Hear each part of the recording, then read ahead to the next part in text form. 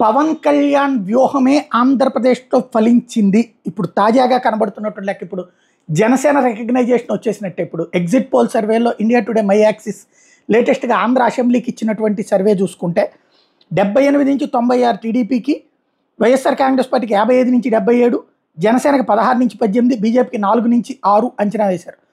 ఇందులో జనసేన ఏడు శాతం ఓట్లతో అది పోటీ చేస్తున్నది ఇరవై ఒకటి పదహారు నుండి పద్దెనిమిది స్థానాలు గెలుచుకోబోతూ ఉండటం అన్నటువంటి అంటే దాదాపుగా ఎయిటీ అంటే eighty five eighty to ninety percent దగ్గర దగ్గరగా కొట్టేసినట్టు. అదే సందర్భంలో బీజేపీకి రెండు శాతం ఓట్లతో నాలుగు నుంచి ఆరు స్థానాలు. అంటే అది భారతీయ జనతా పార్టీకి మామూలు ఊపు కాదు భారీ ఊపు తెప్పించేటటువంటి అంశం. అదే సందర్భంలో తెలుగుదేశం పార్టీ నలభై రెండు శాతం ఓట్లతో డెబ్బై ఎనిమిది నుంచి తొంభై ఆరు అన్నప్పుడు జనసేన భారతీయ జనతా పార్టీల వల్లనే తెలుగుదేశం అధికారంలోకి వచ్చినట్టు అవుతుంది.